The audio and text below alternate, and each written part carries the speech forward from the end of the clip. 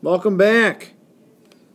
First section of Unit 6, kiddies. Today we're going to do uh, a little some stuff similar that we did to uh, Unit 5 on equations of linear functions. This whole unit we're going to focus on writing equations of linear functions today. We're going to just practice something we've, we've done before, but we're going to add some twists to it. We're going to talk about writing equations in slope-intercept form. All right, so first let's start off, ooh, dreaded word problem here. But let's say we have, uh, and here's a situation uh, that we're going to be dealing with kind of in this chapter with some word problems and other things. Uh, but our goal in this, in the end, is to be able to write um, an equation of this problem. Now, this hopefully may be familiar to what we've done last chapter. Uh, so let's go through it. So obviously, if you've been watching my videos, I talk way too much. And I apologize that, but I love to hear my voice, and I know you guys do too. But I know that I have to cut back, so I'm going to try and talk a little faster and get these things done. Uh, my first video, let's say my first video made was 27 minutes long, but you know what? I want to, like I said, I want to try and cut back and make these shorter. Um, so to cut back, I'm going to try and eliminate two minutes from each video. So let's say I want to take this problem and represent it both graphically and as an equation and through a table. Uh, so first of all, when we fill out a table, we have to think about what are the two things I'm talking about. Well, really I'm talking about uh, the number of minutes I have in a video, so number of minutes, and then I'm also representing obviously each video. So if I look at this table, my two labels, the first one that I have here, um, really this is looking at the number of videos and this is just represented by not a hashtag but a number. Okay so zero videos one two and three. Um, and then for each video we are describing what's changing is the number of minutes. Um, min stands for minutes. I guess I'll write that out for you um, so I'm going to put that in my table there with units of minutes. So first one when I have zero what does that mean for a number of videos? Zero well that's my that's like where I start. Well I know that I'm starting, my initial value is going to be 27 minutes. That's my first video I ever made. Now, every video that I make after that, um, notice it says we're going to try and eliminate two minutes each video. So after one more video, I'm going to eliminate two minutes. That's going to take me down to 25 minutes. Um, then I'm going to take me down to 23 and to 21. Okay, so again, what we want to do is trying to represent this table um, on this graph. So on this graph, what we're going to do is we're going to put the number of videos down here. I know it didn't show up on the graph, but we're going to put the number of videos here on the X, and we are going to put the number of minutes up here on the Y, okay? Now, uh, my graph is not labeled, so I'm going to have to go ahead and label these things. So I know that I'm going 3, so I'm going to go, I'm just going to skip every other one. So I'm going to say that's one, two, three, 4, and so on. Um, and then my Y, my number of minutes, I go all the way up. So I'm just going to label this here 2, 3, and 4, even though I only go up to 3. Um, but minutes is going up all the way up to 27. So I'm going to count by, let's say, let's say by 5. Okay? By 5 works. So I'm going to go here, every other, I'm going to go by 5, then 10, then 15, then 20, holy cow, then 25, then 30, that should be enough. Okay, now what I want to do is take this data and I want to graph it. So, uh, the first one, my, my number of videos is 0. My initial value is going to be all the way up at 27, so that's going to be slightly after uh, 25, so I'm going to place that right there. It's about 27. Then at one video, video I'm at 25, so one video would be about here at 25. Then it's going to go down to 23. So at two videos, it's going to be at about 23. That's about halfway in between there. And then three videos, I'm at about 21. So that'll be something about there. So as you can see, when I plot these points, I obviously get the uh, linear function here. And this is stuff that we've done last chapter, again, with taking a table and plotting it on a graph. But what our goal is for to do, um, I can't really talk, but what our goal is to do in this, uh, this section is we're going to take this graph of this equation and write um, an equation that represents it. So remember there was two things that we talked about last chapter that really helped us to graph. Um, this initial value and what we called the rate of change. So remember these two things. The initial value, we represent it as our y-intercept. So if we think of our data, what is our y-intercept? Well, our y-intercept here is the value of y when x is 0. Or graphically, it's the point where the graph hits the line. So we know in this one that our y-intercept is equal to 27. That's my initial value. And my rate of change describes how things are changing, otherwise known as my slope. And this we could view from the graph or from the table. I'll show you from the table. Uh, notice that each time it's going down 2, down 2, down 2. So my slope here would be equal to negative 2. So if I wanted to write this as an equation, my rule would be y equals, the number of minutes is going to equal um, negative 2x plus 27. Okay, and again, this is simply written in slope-intercept form. Remember, slope-intercept form looks like y equals mx plus b. So what we did in this example is exactly what you're going to be trying to do uh, in this lesson. So here are the steps to write an equation in slope-intercept form. And in order to do these next couple problems, you're going to need to follow these steps. So make sure you write them down, and as you go through examples, follow these steps. The first thing, and the most important thing, is we're going to find the slope of our line. Um, as we saw, we can find this from the table. You can find this on a graph. I guess I forgot to put table here. Um, and also remember that we have our formula for slope, that the slope between any two points is y2 minus y1 over x2 minus x1. The goal is you're just going to have to be able to find the slope in different ways. The next step, once you find the slope, is to find the y-intercept. Graphically, again, that's the place where it crosses the y-axis. Um, otherwise, the key thing here is you're going to look for any point where x is equal to 0. So you're going to see, for example, like 0, 2. If I see that value, I know that that 2 is my y-intercept because the y-intercept is where x is equal to 0.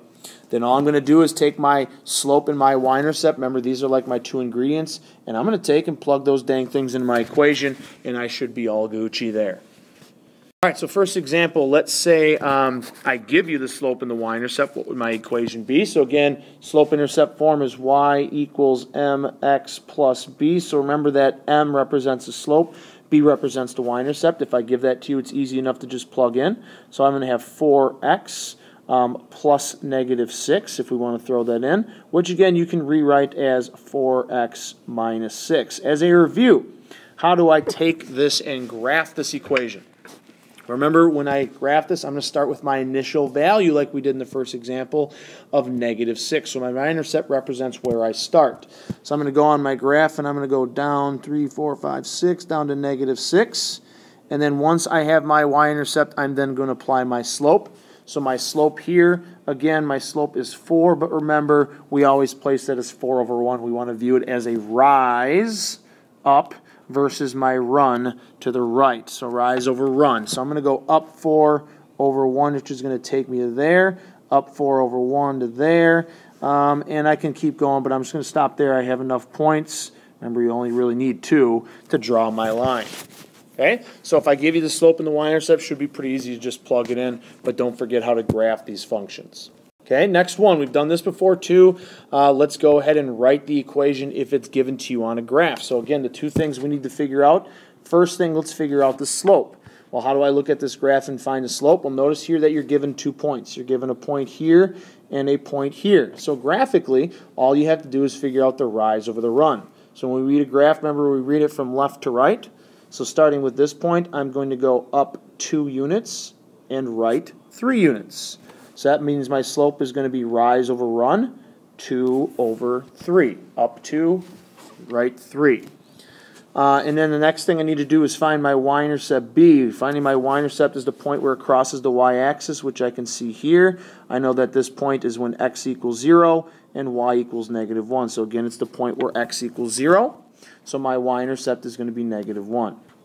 Now I just take and plug this in to slope-intercept form, y equals mx plus b. And I'm going to plug in my slope, which is 2 over 3x, and my b is minus 1. And voila, I have my equation. So pretty simple recognizing slope and y-intercept from our graph. Next one, what's an equation of a line that passes through the following points? Now this one's a little more challenging. Okay, when you think of slope intercept, I'll just put int form.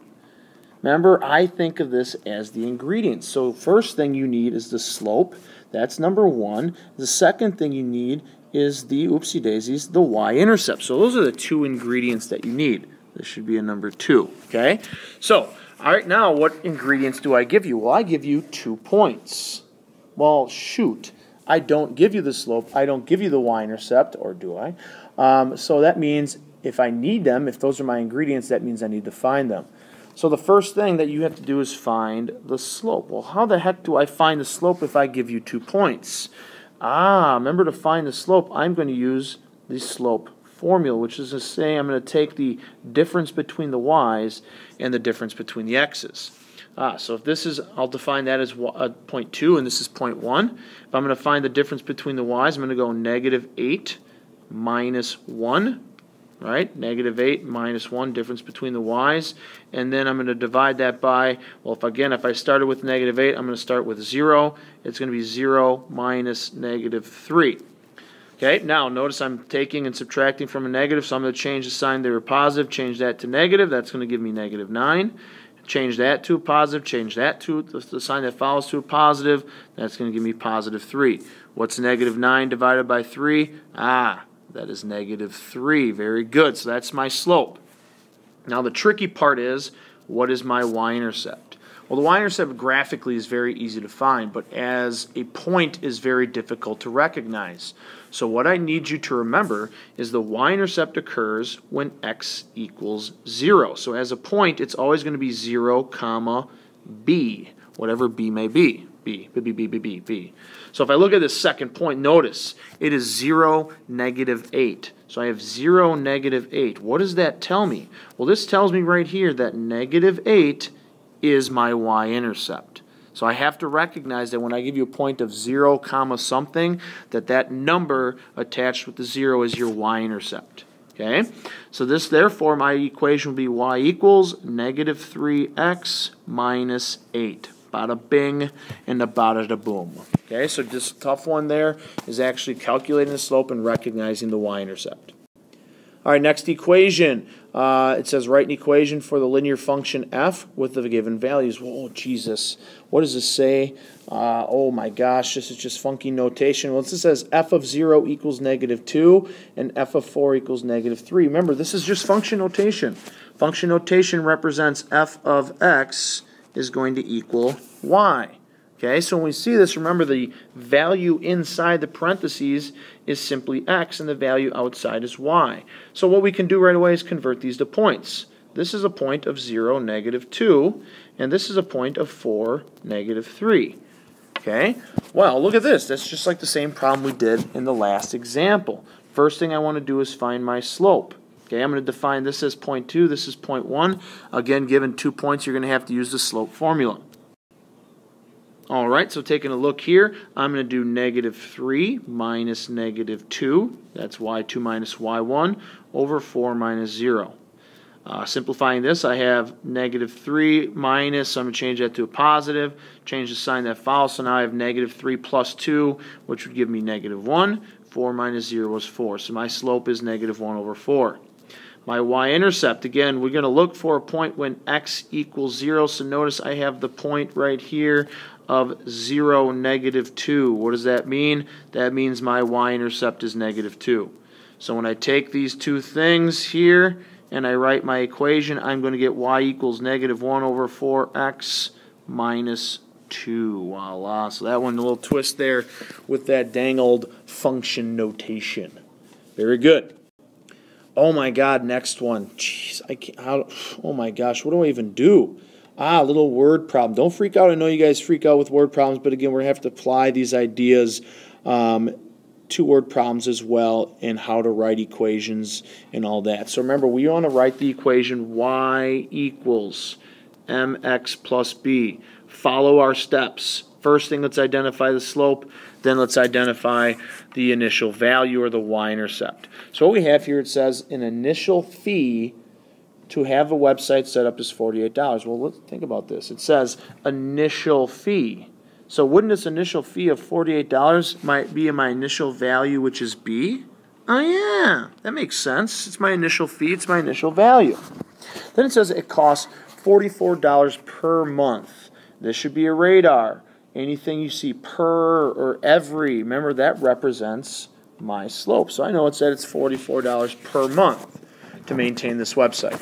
So to write my equation in y uh, slope-intercept form, I'm going to just take and plug in my values. So it says write the equation that gives the total cost of setting up and maintaining a website as a function of the number of months. Don't get confused by the question, but we know that we're going to write it in slope-intercept form, y equals mx plus b. All we had to do is identify the slope in the y-intercept, which we did. So I plug it in, I get y equals 44x plus 48. And there's my equation. Again, x here is going to show the number of months, and y is going to show you cost. Okay, so it's just a actual application where we actually would use linear functions. And now step B is where this is important. Once I have this equation, now the nifty thing that I can use it for is to make predictions. So now I want to know what is the cost for maintaining it for six months. Well, here's what we said, is that the number of months is represented by x. So if I want to know six months, all I have to do is plug this in for x. So in my equation, y equals 44x plus 48. I'm going to take 6 and plug it in for x. I'm going to have y equals 44 times 6 plus 48, and that's going to tell me the cost. So I know the cost y is going to equal $312. So that's $312. So that means for six months, it's going to cost you $312 to maintain that website. Not, not that bad, but kind of expensive. Again, it's something you're going to have to consider if you ever have a business and you have to maintain a website.